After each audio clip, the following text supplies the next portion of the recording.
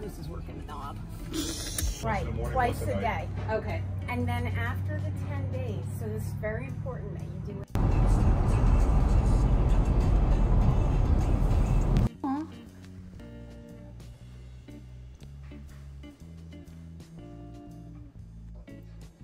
So today was finally the day where we brought Ollie home. Are you guys ready to meet him? Are you ready?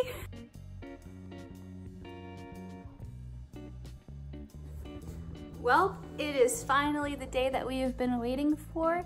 And here is the sweetest, bestest boy. He's still getting used to his new environment. But so far he has peed, he has pooped. I'm sorry to be telling all this information to the world about you, but he seems to be adjusting pretty well. He slept on the car ride home, and now he's just, he's so chill. He just wants to hang out, like be loved. Like, look at him. He's just so cute.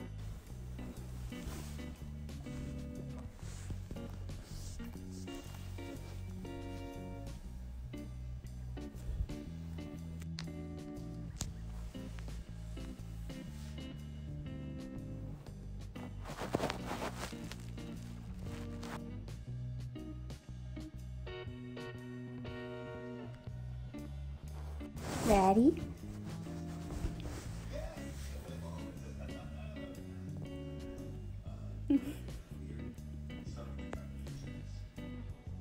Good morning. So it is the morning after the day that we've gotten Ollie. He is doing so well. He has been properly functioning. He's playing with his toys and it really seems like he's very well adjusted.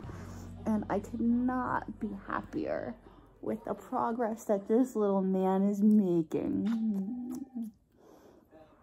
Anyway, thank you for watching this video. Thank you for coming on this journey with me and Ollie. Um, hopefully there will be more videos of us playing and having a good time. But yeah, thanks for watching.